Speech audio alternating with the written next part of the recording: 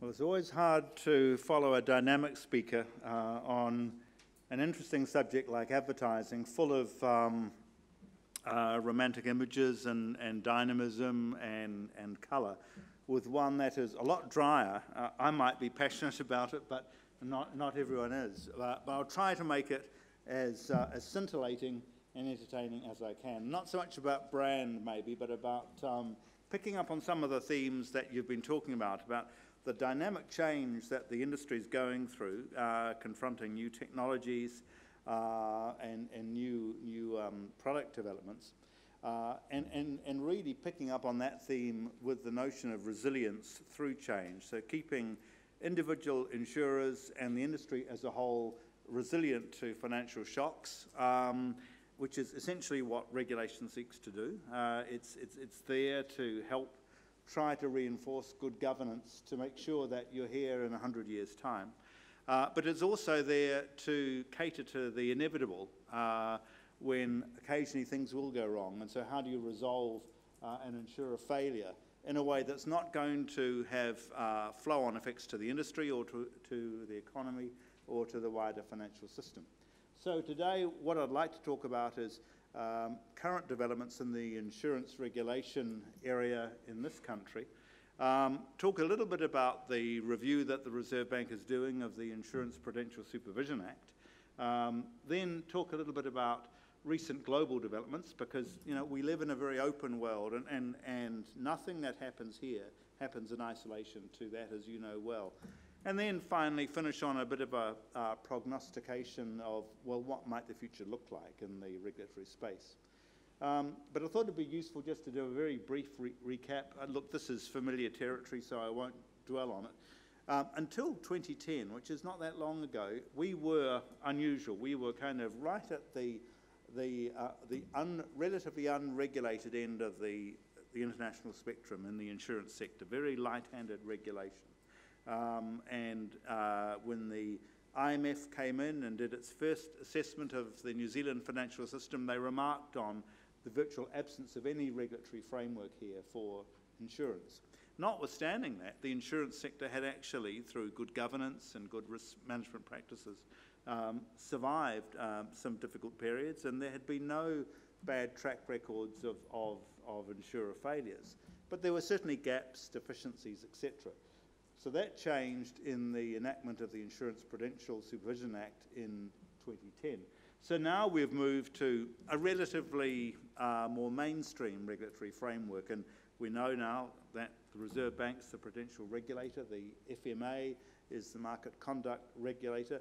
The Reserve Bank has put in place a, a number of prudential regulations relating to the predictable things, you know, ownership, governance, fit and proper, um, solvency capital fundamentally, uh, uh, as well as a risk management program, and unusually, a financial strength rating. Now, that's actually a hangover from an earlier regulation, and we are one of the very few countries in the world that requires insurers to have a financial strength rating, a credit rating. Um, you can argue the merits uh, and demerits of that, but it's got strengths, I, I, think, and is a counterbalance to having maybe a more heavier regulation framework in the absence of it. So this, this represented a bit of a, a sea change in uh, the insurance regulation framework for this country. We went from being virtually non-regulated, relatively, to now being much more significantly regulated than, than we were. And that's not just in the prudential area, it's also in the financial market area where you look at the market conduct, uh, market risk um, regulations, the disclosure requirements, the investment advisor, financial advisor disclosure requirements uh, have greatly um, intensified regulation in, in those areas. You might be thinking, yeah, yeah, yeah, enough's enough. Um, we're, we're already adequately regulated, no more, please. Uh, and that might be the right answer, uh, but it's interesting that if you look at you know, overseas. You don't have to look very far. Look, look to Australia, for example. Uh, and we are still a relatively light-handed regulated country. Um, we, uh, we have um, uh, risk management requirements, for example, at a pretty high level. You know, they're not pitched at the detailed, more granular level that, for example, the Australians, the Brits, the Europeans, the Americans tend to have for their insurers. And I'll come on to that uh, a little bit later in terms of what Australia is, is doing in that space. There are no particularly pres prescriptive requirements for outsourcing or for business continuity or stress testing. Um, and on-site examinations don't really exist, not in the form that they tend to overseas, where you know an on-site examination might be a two or three week process, and it will be detailed, it will be granular. Um, whereas here, the Reserve Bank is, is certainly meeting with, with insurers generally annually, but it's, it's at a much higher level. Now, uh, the other gaps and again, these may or may not be significant ones, although in time they might become more significant. We're a country in the insurance sector that doesn't have recovery planning. Now, you're not alone uh, because banks yet do not have recovery planning. Now, recovery plans are a little bit like a business continuity plan, but it's on the financial side. So, in a business continuity plan, if there's an operational shock, uh, then you have a business continuity plan to get you out of the operational dysfunction. A recovery plan is how do you get your capital and your liquidity back into a good shape after you've been hit by a financial or economic shock. And so at the moment, we don't have recovery planning requirements here, but we do have elements of it with ICAP, etc. We don't have resolvability assessments. We don't have resolution planning. So that is, if you try to recover, you try to get your company back onto an even keel after a major economic shock, a claim shock or an asset price shock. Uh, if, if you can't, notwithstanding the best plans in the world, get yourself back to an even keel, then you're into resolution territory. And there are some gaps in the framework there. Now, one of them, the last point there, is something I'll return to, and I won't spend a lot of time on it, but policyholder compensation is something that in this country we do not have. It's something to keep an eye on because I suspect in years to come uh, the absence of a policyholder compensation framework will be something that will gain greater attention. So, um, overall, we have a relatively light-handed regulatory framework. Now, that has some strengths. It, it, I think, helps to underpin market discipline. I think it can reduce the, the risk of moral hazard. Uh, I think it can reduce taxpayer risk. Uh, it can also reduce, obviously, compliance burdens and hopefully uh, reduce the, uh, the unwelcome interference with innovation and, and product dynamic uh, efficiency. But there are some downsides as well, um, and uh, some of those are worth noting, I think. One of them is that the Reserve Bank, which overall uh, has a good reputation for being a solid, sound, credible uh, regulatory agency, maybe is not as well placed as its counterparts, APRA, for example, or um, uh, the, the, uh, the PRA in, in Britain, to detect early enough and to respond early enough to emerging distress. There's a risk there. It puts a lot of reliance on foreign supervisors. Um, uh, and if we do face an insurer failure, we run a risk, I think, of uh, ad hoc government responses. Now, we saw that in the Canterbury earthquakes uh, where there was a, um, an, an, effective rescue of one insurer.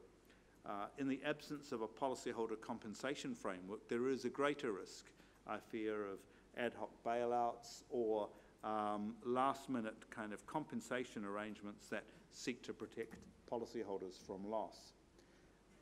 So the International Monetary Fund uh, are making a, quite a timely visit to us at the moment this very week. They're on their second mission here. Uh, the IMF review every country's financial system. Um, it's supposed to be about every five to eight years. So the last one for us was quite a number of years ago. It was 2003, 2004. Um, essentially, it is a comprehensive assessment of the banking system, the insurance system, um, the payment and settlement system, uh, and the quality of regulation, the quality of supervision.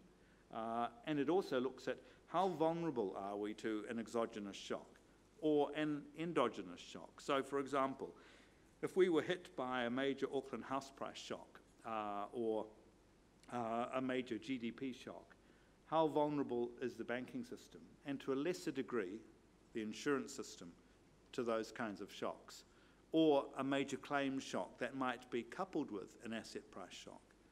So the IMF are over here uh, doing, I guess it's a little bit like an external auditor coming in to, to you uh, and reviewing your systems, your controls, your balance sheet, etc. Um, and that's what the IMF does when they come into a country's financial system. Uh, they're going to look at the strengths, the weaknesses of the framework. And that's what I do for the IMF when I go into numerous countries around the world. Um, but I've also been on the other side. I've been FSAP'd both here and in Australia. Now, I don't know what's worth, worth really, to be FSAP'd or to be an, an FSAPper. Um, uh, both involve stress. Uh, it's, it's, it's, kind of a stress testing process in its own right. Um, so what might they look at and what might their findings be? Well, uh, we won't know what their findings are, uh, publicly at least, uh, until the first half of next year, which is not far off, when they'll be publishing a high level uh, report that sets out okay, we looked at the banking system, the insurance sector, we looked at um, stress tests of the financial system, and here's what we found in terms of these things look pretty good, these things not so good.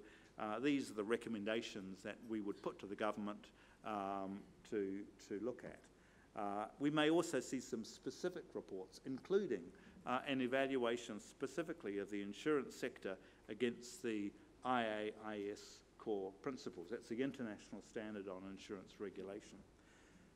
It's too early to say what their findings will be, and although I've had interaction with them in, informally, quite properly, they haven't told me what their findings are. So I'm, I'm speculating, but I'm thinking that they may well identify the need to strengthen governance and, and risk management arrangements. They might look at uh, the need for some strengthening of on-site examinations, but I hope in a way that doesn't lead to the intensive processes that we've seen in some countries. So in other words, a sensible balance there between, on the one hand, an effective supervision regime, but on the other hand, wanting to avoid excessive compliance burdens. Um, they are likely to put emphasis on increasing the Reserve Bank's capacity for early warning assessments. So in other words, get ahead of the curve. Uh, too much of regulation internationally and, and here is reacting already once you see the cracks appearing. Uh, and the trick is to try to get um, a framework that gives you the advance warning of those things. Now, that's not just relevant for the supervisor, that's clearly relevant for the boards and for the senior management teams of all of the insurers. So it's equally relevant for them. There, there may be recommendations about strengthening some of the prudential requirements. I think capital is, is probably um, already uh, in, strong by international standards, so I, I, don't see that one as being one necessarily likely to be strengthened. But maybe they'll, they'll be saying perhaps there's a need for strengthening risk management and uh, business continuity, etc. Um, I think there'll be an emphasis too on more stress testing, uh, on closer cross-border coordination, uh, and on strengthening recovery and resolution. So in, in other words, how well placed are insurers to um, cope with a, a, more than severe claim shock than they normally plan for, or an asset price shock, an investment shock, or a liquidity shock, or a contagion risk across the industry? Do they have recovery strategies that adequately cope with those things?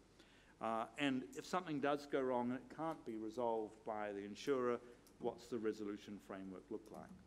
Now, the IMF review is quite timely because it coincides with the Reserve Bank's review of the Insurance Prudential Supervision Act.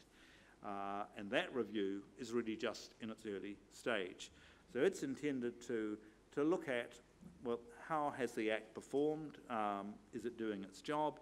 Um, uh, is it consistent broadly with um, the approach to banking? Um, is it broadly consistent with um, what we're seeing overseas? So, you know, after five or six years, it is a timely review. And I, I think the Reserve Bank is, is, is, is, right to be doing that. Um, it's going to look at a number of of issues, and I won't go through those in, in detail. Um, essentially, it's going to be looking at each of the key components of the regulations. The relevance for you, I think, is in terms of what might this mean in terms of the compliance burdens for us? What might this mean in terms of a strengthening potentially of regulatory in, um, interventions? Uh, what are the balancing acts between, on the one hand, effective supervision and on the other hand, wanting to give you the freedom to um, adjust dynamically to changes in the marketplace?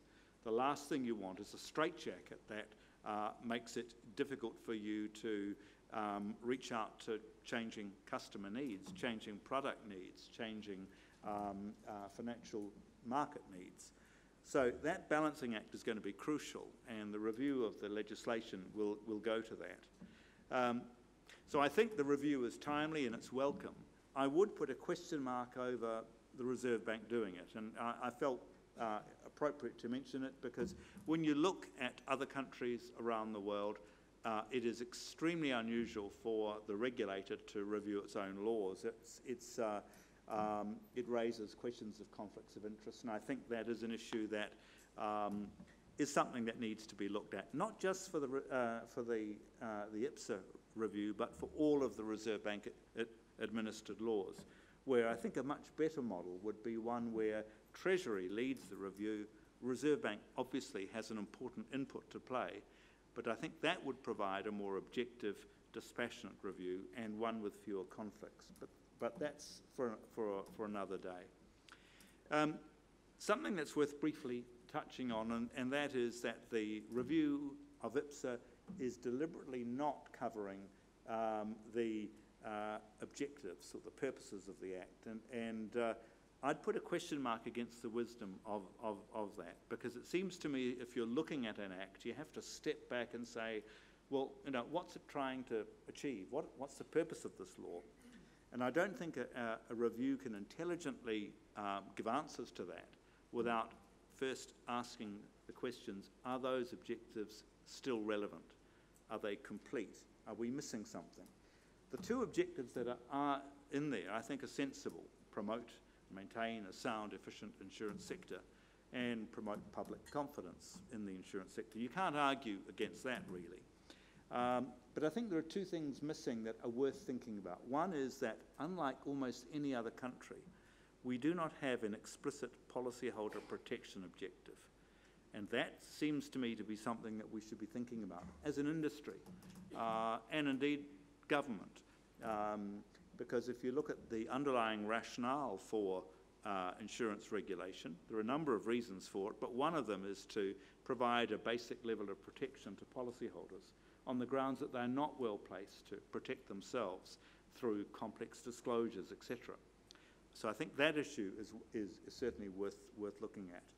Um, and as I will talk about shortly, uh, policyholder protection doesn't mean immunisation from loss. It means giving uh, a, degree of strength of confidence to policyholders that, um, that, that, the insurer that they're dealing with is, is robust. Uh, but it doesn't mean that they are immunised from loss if the insurer fails. But that is where one then gets into compensation questions. The other issue that seems to be missing from the Act that I think is worth looking at is um, the failure side. If you look at the Reserve Bank Act on banking, one of the objectives there is uh, that the Reserve Bank is charged with um, um, avoiding significant damage to the, the, the, stability of the financial system if a bank were to fail. Now, on the insurance side, there's no equivalent, and that's where I think there probably should be. Something that says, look, if we're managing an insurer failure, we want to, on the one hand, look to reasonable protection of policyholders, and on the other hand, minimise the damage to the insurance sector and to the real economy that can result from the failure of, of, um, of any insurer, but especially a large one. The review will be looking at uh, principles in the, the Act, and I think for the most part those, those principles are sound. I think where there may be scope to um, strengthen them would be in areas like enhancing competitive neutrality, that is, treating um, foreign insurers and domestic insurers equally, um, to, to make sure that uh, there is uh, a level playing field between insurers and also between different product categories. So at the moment, you've got some insurance products or insurance-like products that are actually not even covered by the Act. And, and I think there's a question mark there about um, the disadvantages that that confers on some insurers and on some products.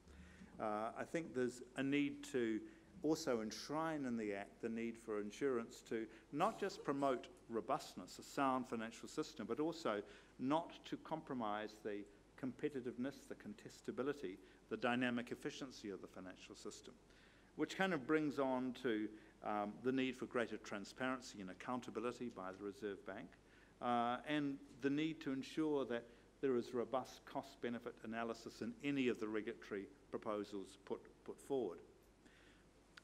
And that brings me to an important issue, which is cost benefit analysis. And, and in that sphere, I think this is not just true of IPSA, it's true of many um, legislations around, around you know, every sector, that there is really not enough robust cost benefit analysis. That is essentially the cost benefit analysis that does take place tends to be too little, too late, not transparent enough, and not subject to adequate external verification. Uh, I think that's as true in the insurance sector as it is in banking. And in fairness to the RBNZ, I think it's true for regulations generally across the country and not just financial sector ones. So I think there is a real need for strengthening. And I think really the answers to that lie as much in Treasury and Cabinet processes as, as elsewhere. And in recent meetings with Mr English, I've raised those issues and I'm hopeful that um, some action might come down the line in, in, in that sphere. Um, that is where I think in the whole area of how do you get more effective cost-benefit screening of proposals? You know, you want to do it at the early stage of policy development, not right at the end when the regulator's pretty much made up its mind what it wants to do. There's been consultation, yep, but you know, you've been in, in, in essence provided with a fait accompli. Uh, whereas a more meaningful approach is to have the cost benefit analysis right at the early stage in a more open consultative process where the options are really thrashed out. That's where I think we could look across the Tasman at the, uh, the Office of Best Practice um, uh, Regulation because I, I have had first, first-hand experience of that when I worked, worked at APRA the degree of scrutiny to which I and my colleagues were subject in putting proposals to that agency, which had a separate minister, uh, was extraordinary. But it was refreshing because it actually forced us to really justify every single thing that we were saying. And they had the power to knock us back. And they did. So, you know, it was a meaningful constraint, and that's something we lack here. I think the transparency of, of decision making is, is um, another one. And that's where I think there is scope to strengthen the Act, to uh, enhance the Reserve Bank's um, transparency, its openness in all of the functions that it performs, whether it's licensing or new regulations, modifying conditions to a license, all of that should be subject to much greater scrutiny, much, much more transparency. Um, in that vein, the publication of policies, I think, is really crucial. Now, Section 54 of, of the Act, and I imagine you don't, you're, you're not like me, a, a, sad guy who picks up Acts at night and reads them even to Section 54. Please don't do that uh, unless you're seriously insomniac. Um, already does require the Reserve Bank to publish policies in certain areas, but only in limited areas. Uh, and I think there is considerable scope to broaden that so it is obliged to publish policies in relation to the exercise of all its powers across the Act, um, to consult interested parties um, in respect of all of the policies that, that it has, um, and to keep those statements of policies under review. So I think there's a need to shed more light in all of, of the, those areas. I think in the, in the sphere of consultation generally, um, the Reserve Bank has improved um, uh, from uh, earlier days. It now has a more rigorous approach to consultation, and that's good. But I think you know they would probably themselves acknowledge that there's always scope for further um, improvement. And that's where I think in the Act, uh, not just IPSA, but in the other acts as well, uh, there should be greater obligations on regulators, and not just the RBNZ, the FMA as well, um, to consult more rigorously, uh, to have minimum periods required for consultation, so they can't just push something through in two or three weeks, um, that they should have to publish um, submissions from individual submitters unless that submitter has said, no, we don't want it published. They should have to publish a response document.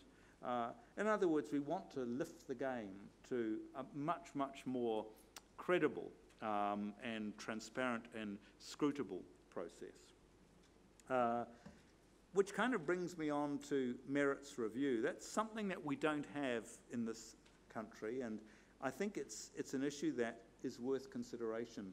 If you look at Australia, they have had for four or five decades now um, a system, not just in the financial sector, where if you, as a regulated entity, uh, are concerned that um, a regulator has put in place or proposes to put in place regulations that you feel go too far, are too costly, are too constraining, are not justified by the objectives of the Act, etc. In Australia, you can actually have uh, an appeal done of that regulation by an independent body, uh, a judicial process charged with that very task. So in Australia, you can have a quasi-judicial body that can actually overturn proposed or actual regulations, and that happens. So that incredibly sharpens the incentives on regulators to get it right in the first place. It gives them greater incentives to consult uh, thoroughly. We don't have that here. We only have judicial review, and that is where I think, again, a strengthening uh, would, would, would be desirable. I think another issue, and this is probably outside of the IPSA, but it's, it's very, very pertinent to what we're all here about today, and that is the insurance sector, is policyholder compensation. Uh, and what I mean by that is that if an insurer fails, uh, in this country there is no framework by which the policyholder uh, or a third party claimant uh, is compensated, can um, make a claim on, on a, um, a fund of some kind um, to be paid out. Uh, if you look at Australia, they have the Financial Claims Scheme. Britain has the FSCS. Uh, most European jurisdictions either have or will have shortly policyholder compensation schemes. Much of Asia either already does or is moving to that. Now, I'd be cautious about how far one goes because, you know, as with anything, there's a cost.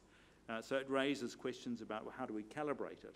Um, um, it would be industry funded, uh, and what does that mean in terms of fees and levies, etc. But I think it's an issue that is warranting um, further assessment because uh, if we don't have it, there is a greater risk of ad hoc responses, of government uh, being drawn into a bailout or something of that nature which could be the very last thing that's in, in anyone's interests. We've seen the reaction to bailouts in the global financial crisis where there was a swing the other way, where now we're looking at bail-in, uh, we're looking at very costly restructuring of banks um, in order to reduce the risk of bailout. Uh, and I wouldn't overstate the risk of that happening here uh, in the insurance sector, but the, the less you have um, effective resolution frameworks, the greater the risk there is of that kind of overreaction. Well, that's on the domestic front. I thought briefly let's have a quick tour of what's happening internationally because that obviously has a big um, play on what's happening locally. Now, the key two key agencies overseas are the International Association of Insurance Supervisors, that's the international standard setting body for insurance regulation, and the Financial Stability Board, which really looks at resilience questions, um, um, it, it, it, looks at crisis resolution, and also um, it looks at disclosure issues, including, interestingly, and relevant to you, climate change related disclosure. Um, a quick gallop through some of this. Uh, insurance core principles um, are essentially the, the Bible that the insurance supervisors work to. Um, they're not mandatory, um, but they are reference points. And when the IMF is over here, as they are now, they'll be looking at how does the New Zealand insurance framework stack up against those, those principles. Uh, so it's clearly got a lot of influence. Um, I think looking ahead the next two, three years, the insurance core principles that the IMF will be probably focusing on and which will have influence here will, will be on the capital requirements, on possibly enhancing risk, risk management. Um, I think a much greater emphasis on conglomerate supervision. A number of insurers and banks and securities firms, wealth management firms are bundled into one conglomerate. And so that raises questions about intragroup risk uh, and how do you manage that effectively. Uh, they'll be looking at cross-border uh, coordination, recovery and resolution, and policyholder protection. Um, the IAIS is a busy body, I must say. It's also looking at um, the capital standard. That's been going on for some time. Essentially what they're doing there is moving towards a more Basel-like capital framework for insurance, um, where you know, you're looking at increasing emphasis on risk weightings, of capital having the capacity to absorb losses as a going concern. And what that means is that any recognised capital instrument has to be capable of being converted to equity uh, or to some other loss absorbing instrument um, in a going concern basis uh, at the point of non viability. So I think we will see progressively, globally, uh, insurance capital frameworks looking more and more bank like um, in, into the future. That might include more use of internal modelling for pricing of risk, whether it be credit risk, investment risk, um, interest rate risk, currency risk, more use of internal models for the, the larger insurers. The IAIS has also been looking at systemically important insurers. Now, we, are used to hearing this with banking, you know, systemically important banks. Uh, it's less commonly used, but it's not irrelevant by any means in the insurance sector, where if an insurer, either globally or domestically, is systemically uh, important, either in terms of the contagion effects it could have on the insurance sector or on the real economy or impacts on banking uh, or on fin financial markets. Uh, there is a move now to have a pre-identification of those insurers to tighten further the capital requirements and other prudential measures for those insurers and to ensure that there is a robust resolution framework to enable those insurers to be resolved in a way that minimises dislocation to financial markets and to the real economy. So I think watch that space more will be coming uh, along those lines. Macroprudential is another one. Now, you might have heard of that in, in, in the banking side, uh, and it's familiar to us really because if you look at loan to valuation ratios in the Auckland market especially, uh, there's been a great deal of attention on that in the last two years, and the Reserve Bank has been um, making moves uh, in uh, the nature of the loan to valuation and other requirements in that space. So that's an example of macro prudential regulation where they use a prudential instrument for macro stability purposes. Now, in banking, that is increasingly being used. Uh, it's got advantages, but it's got big risks as well, and uh, the IMF is going to be looking at those. But in the insurance sector, um, increasingly that is also being looked at. Um, I don't think you would see necessarily any move in the near term, but I think that's something to, to keep an eye on as to whether or not insurance regulation could conceivably be used for macro stability purposes. And, and if it is, uh, how is that best managed? The Financial Stability Board uh, is doing a lot of work. Now, they are focusing as much as anything else on what happens when things have gone really, really bad. So, you know, they're looking at stress testing, uh, vulnerability analysis, and that is something that's been in the banking sector now for a good five, six, seven years. I think if I were you, I'd expect more of that in, in the years to come. Stress testing, Australia has already done it in the insurance sector uh, just recently, and I think that's going to increase further. But what the Financial Stability Board is also saying is, look, even with the best will in the world, you're going to have occasional failures. So they've brought out what's called the key attributes, which is essentially an international standard on resolution, primarily focused on banks, but also picks up insurers, payment systems, settlement systems, etc. They are putting emphasis on a number of things, but I'll just draw out two or three things. Recovery planning, which is what I talked about before.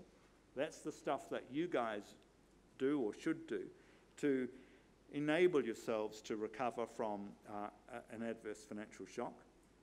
Um, resolution plans, and that's what the Reserve Bank would do, that if an insurer cannot recover, restore itself to financial soundness, then it's resolved uh, through the use of statutory management or other mechanisms. And the, the key attributes, the Financial Stability Board, is talking about the, the, the mechanisms by which that can occur. Now, that raises questions about, again, policyholder compensation, uh, the source of resolution funding, um, whether you use a bridge insurer or you simply try to merge, uh, you know, two medium insurers into a larger one. Um, a lot of issues, including cross-border, especially trans-Tasman cross-border coordination. It's increasingly important. Um, and on the trans-Tasman front, Australia can't get through this seminar without a little mention there. Um, and some of you will be intimately familiar with Australian regulation because you are from, some of you are from Australian-based insurers. Now they've, they've gone through a hectic period of um, reform. They've now bedded down the capital framework called LAGIC. Uh, they call it LAGIC Magic. I don't know about the magic bit, but uh, it certainly led to a strengthening of, of the capital framework. Uh, increasingly, emphasis is put on capital planning, and through that stress testing. Uh, so again, stress testing comes, comes into it. Um, uh, they have also bedded down, uh, and I think this is really important because I've been working with boards of directors in Australia on insurers and banks and uh, conglomerates, and it has been a huge, huge theme for them from the board level down, and that is um, risk management. Uh, where Australia requires a risk management strategy, a risk management framework, a risk appetite statement, a risk culture. The risk culture bit has, if anything, been the most bedeviling element of all. It's the soft underbelly. Because if you get your risk culture wrong, you can have all the nuts and bolts of the hard stuff in place, but risk culture will be, will, will be the thing that brings you down.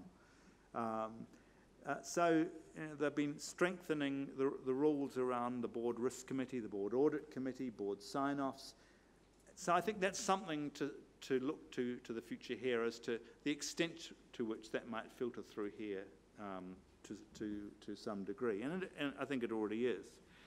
Uh, Australia is also looking at a conglomerate approach. And I think this is really crucial because you look at Australia, and this is not unique to Australia by any means. Uh, you've got, you know, eight or nine big groups that have got banks, insurers, etc., all bundled in them and, and wealth management. Uh, and uh, we have too. Uh, and what Australia is doing is looking at a conglomerate approach. So, in other words, don't just supervise the banking group over here, the insurance group here, the wealth management group here, but look at the totality of that, the intragroup contagion, the, dyna the dynamics of risk between those areas, and the aggregate exposures. So, I think you'll see more in that space. Stress testing, I've mentioned that. Um, uh, recovery planning, resolution planning, APRA's been busy in the banking space on recovery planning. Uh, haven't yet turned their attention to insurance, but they are going through uh, an IMF FSAP next year. And the good thing with the, with, with, with the IMF is that it tends to spur action on. This may be good or, or not good, depending on your, your, your viewpoint. Um, but uh, it's likely, I think, that we'll see Australia move towards recovery and resolution planning for insurers in the next two years. So, look, wrapping up, looking to the future. Um, what's the future direction? Well, my crystal ball is certainly no better than yours, uh, but I think we're going to see a number of themes. Uh, increased emphasis on regulator transparency and, and, and accountability. I think that's really crucial. And I think that's where we do need to lift the game quite a lot regulator performance is going to come under a lot more scrutiny. The role of the board of directors of the Reserve Bank. You know, at the moment, uh, they're, they're, doing some things, but arguably not enough. Um, the scrutiny of ministers and of Treasury, of regulators, not just RB, but also FMA, crucial. Um, I think there's going to be uh, more emphasis on stronger consultation with, with the industry. Uh, I think a much greater emphasis on risk appetite and risk culture uh, and uh, stress testing within uh, insurers, both at an industry level and within each insurer, and how stress testing feeds into risk appetite and risk tolerance and the calibration of that. Um, and uh, I think you'll be seeing much more emphasis on cyber risk, um, on um, a group a group-wide focus on, on risk. In other words, that move from a siloed approach to a much more holistic approach. Um, and I do think the recovery, resolution, policyholder compensation issues uh, are going to gather more attention. So I feel that uh, in the years ahead, um, we're not talking too many years, we, we will see further major changes in the insurance sector regulation space. And some of them, I think, will be quite intellectually challenging. That they're going to take regulation into a much more dynamic phase than it has been previously. Thank you.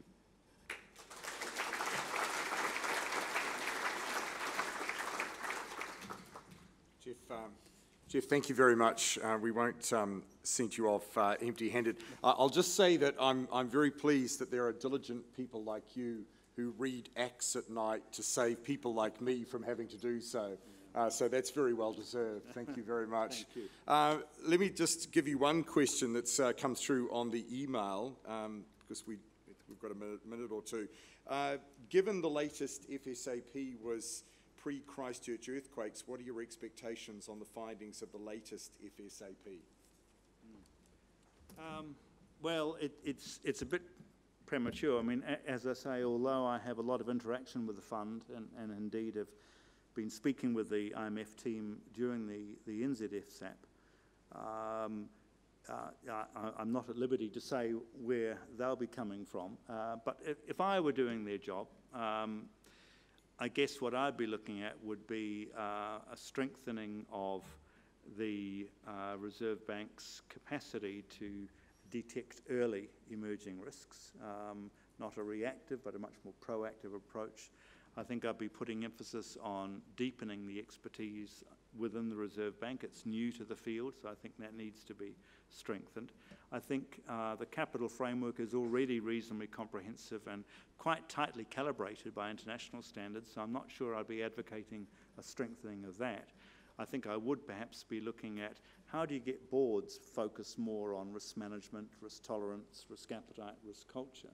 And I think that is, is certainly worth, um, worth further, further emphasis. Um, I think much closer cross-border coordination with Australia is going to be needed than occurs at the moment.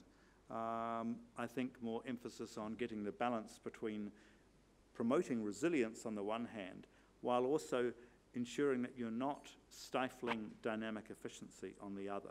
Because the last thing you want is to be promoting a resilient insurance sector that is then in a straitjacket and it cannot evolve and respond to changing market demands. So I think getting that balance is going to be crucial. I think finally the IMF will almost inevitably um, raise issues about policyholder compensation, about how do you manage an insurance failure in a way that minimises taxpayer risk, gives reasonable protection to policyholders, uh, and minimises the risk of flow-on effects to other insurers. Thank you very much for your time today. Geoff Mortlock, ladies and gentlemen, thank you very much.